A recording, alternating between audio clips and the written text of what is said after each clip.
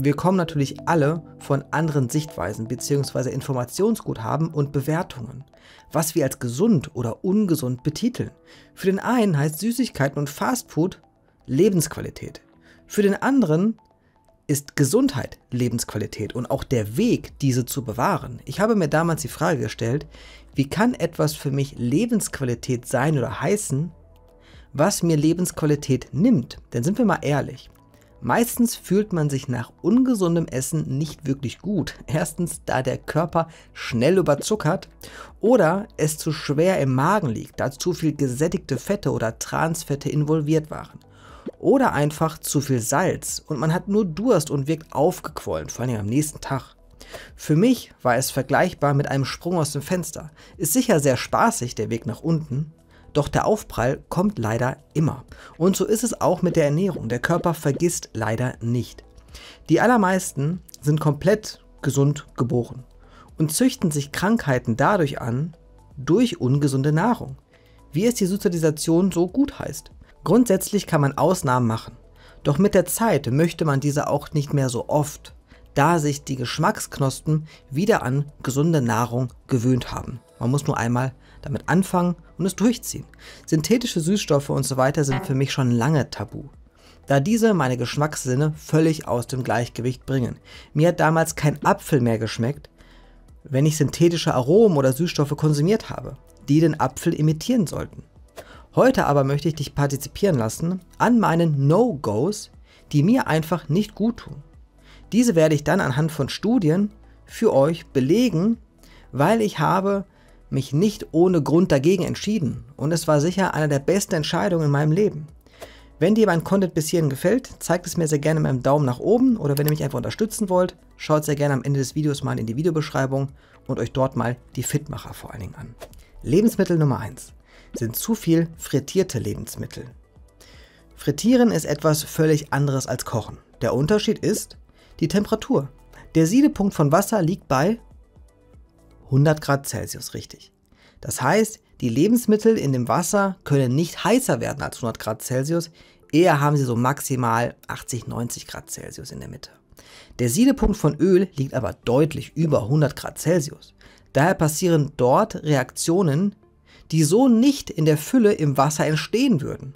Eine Reaktion ist die Umlagerung von Fettsäuren. Doch welche Fettsäuren sind das und wo kommen sie vor?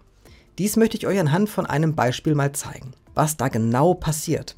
Ungesättigte Fettsäuren sind Fettsäuren, die Doppelbindungen tragen.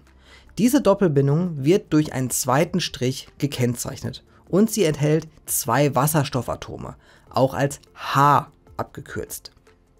Das sind natürliche Fettsäuren, wie sie in der Natur vorkommen, wie zum Beispiel in Pflanzen oder in Nüssen. Diese nennt man auch die CIS-Konfiguration. CIS.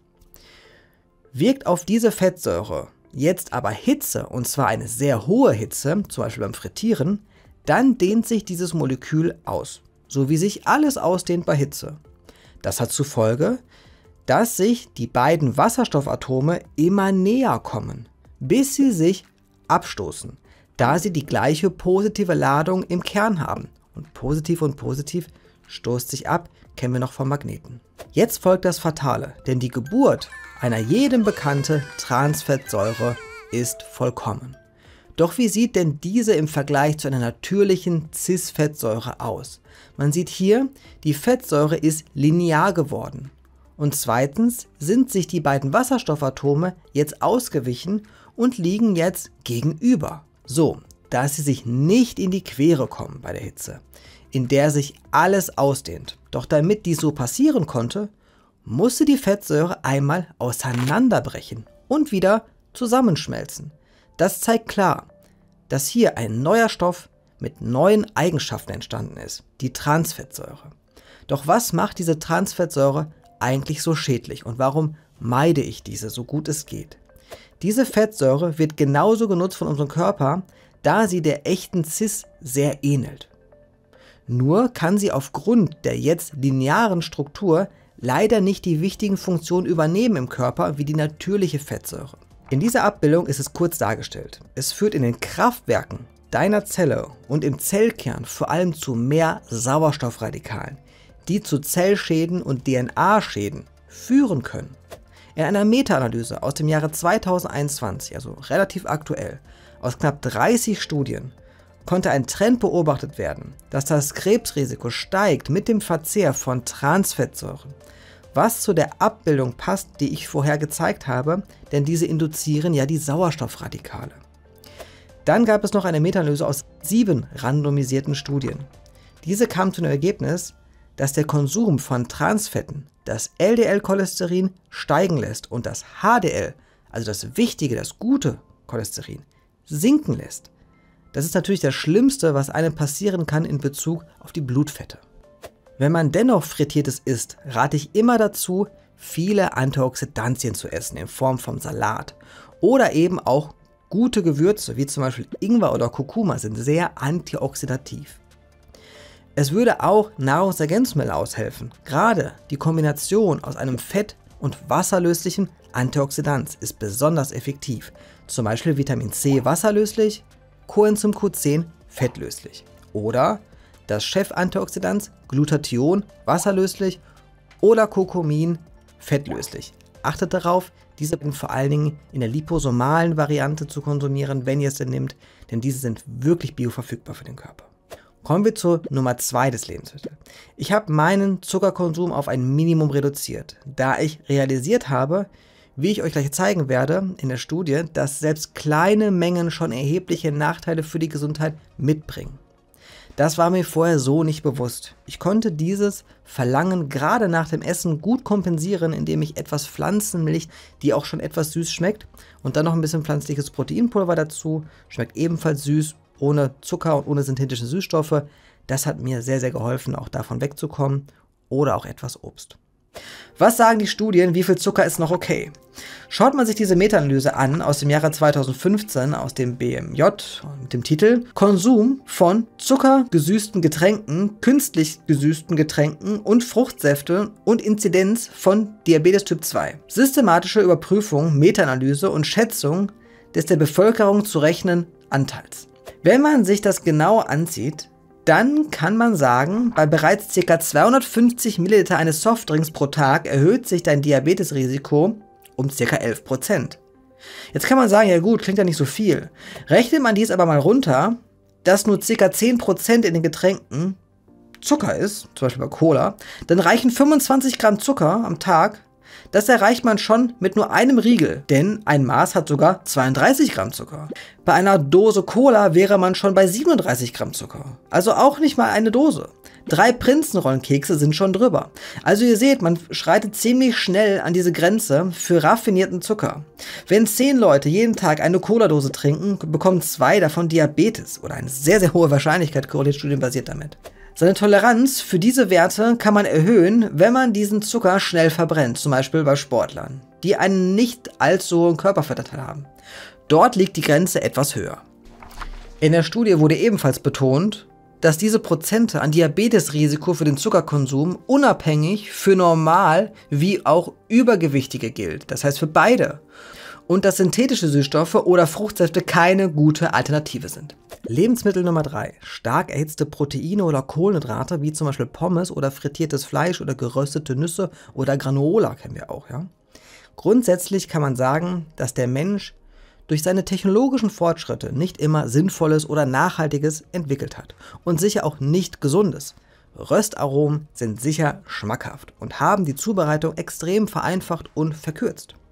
Grundsätzlich versuche ich Dinge wenig in Öl zuzubereiten oder nicht zu viel im Backofen zuzubereiten, sondern nutze hier oft die Variante, dass ich eher dünste oder es tatsächlich in Wasser zubereite. Doch wieso mache ich das? Der Grund ist die Bildung beim Braten in Öl oder lange im Backofen garen von AGEs. Advanced Glycation End Products. Was bedeutet das denn? Es gibt Reaktionen in Stoffen, die laufen nicht freiwillig ab da sie von Nachteil sind für das Molekül, aber auch für unseren Körper. Zwingt man dieses Molekül oder zum Beispiel die Pommes oder das Fleisch mit extrem hohen Temperaturen sich zu verändern, dann hat dies oft negative Folgen. Wie vorhin schon beschrieben, bei den Fetten, Stichwort Transfette, aber auch AGEs. AGEs sind Proteine, die verzuckert werden. Das heißt, genau genommen Aminosäuren, woraus Proteine aufgebaut sind. Daran werden die Zucker geheftet. Also nochmals, Proteine bestehen aus Aminosäuren. Diese reagieren mit Zuckermolekülen zu AGEs, wenn sie extremer Hitze ausgesetzt sind. Der Nachteil ist folgender. Die Struktur, die verzuckert wird, verliert ihre eigentliche Funktion im Körper. Denn dies kann auch an deinen eigenen Körperzellmembranen passieren. In einer Meta-Analyse aus 17 randomisierten Menschenstudien, also besser geht's nicht, kam es zu folgenden Ergebnissen. Unsere Ergebnisse deuten darauf hin, dass eine AGE-arme Ernährung eine wirksame Strategie zur Verbesserung des kardiometabolischen Profils bei Menschen mit oder ohne Diabetes Typ 2 sein kann. Des Weiteren wirkt sich eine niedrige AGE-haltige Ernährung positiv auf das Enzym Sirtuin 1 aus. Sirtuin 1 bremst die Einleitung des Zelltodes, ist wichtig für die Differenzierung von Muskelzellen und schaltet den Stoffwechsel auf die Fettverbrennung um, also ein echtes Langlebigkeitsprotein und das wollen wir doch haben. Eine AGE-arme Ernährung verbessert auch die Hormone im Körper gerade das Sättigungshormon und das Hormon, welches besser ermöglicht, Kohlenhydrate in die Zelle zu schleusen aus dem Blut, auch Adiponectin genannt. Wir sehen nämlich sehr gut, dass AGEs in Zellen andocken, hier in Rot, und deswegen zum Sterben dieser Zelle führen kann, wie zum Beispiel Zellen der Bauchspeicheldrüse, welche normalerweise ja den Blutzucker kontrollieren und es gegebenenfalls dann irgendwann nicht mehr tun, wenn zu viel AGEs im Umlauf sind. Das gleiche gilt auch für Nierenzellen. Wie es in diesem Review gezeigt wird, AGEs induzieren oxidativen Stress in jeder Körperzelle. Ich hatte mal eine starke Autoimmunerkrankung.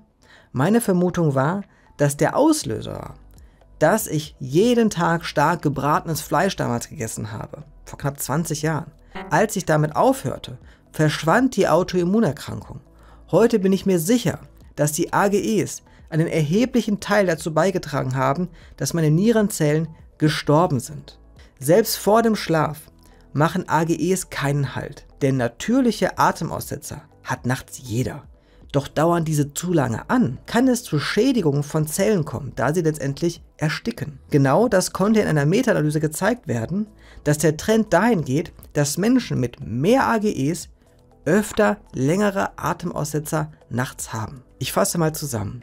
Wenn du etwas weniger den Backofen benutzt oder frittiertes oder gebratenes in Öl zu dir nimmst und stattdessen mehr dünstes oder auch etwas mal im Wasser zubereitest, nimmst du automatisch weniger Transfette zu dir, die sich negativ auf deine Blutfettwerte auswirken und auf dein kardiovaskuläres Risiko, genau genommen Erkrankungsrisiko. Raffinierter Zucker erhöht dein Erkrankungsrisiko leider schon in kleinen Mengen und sollte so gut es geht mit Früchten ersetzt werden, aber nicht mit Fruchtsäften. Synthetische Süßstoffe sind keine Lösung, da sie die Hormone im Körper unnatürlich verändern. AGEs entstehen durch extreme, erhitzte Lebensmittel wie proteinhaltige oder kohlenhydratreiche Stoffe. Daher, wenn man so etwas konsumiert, sollte man darauf achten, gleichzeitig auch genügend Antioxidantien zu sich zu nehmen, in Form von Nahrungsergänzungsmittel oder reichlich frischen Salat auch dazu, zum Beispiel auch mit Paprika. Dieser enthält natürlich sehr viel Vitamin C. Was konsumiert ihr davon noch sehr gerne? Verzichtet ihr schon auf einiges? Schreibt es mir sehr gerne in die Kommentare. Ich freue mich über deinen Kommentar und wir sehen uns im nächsten Video wieder.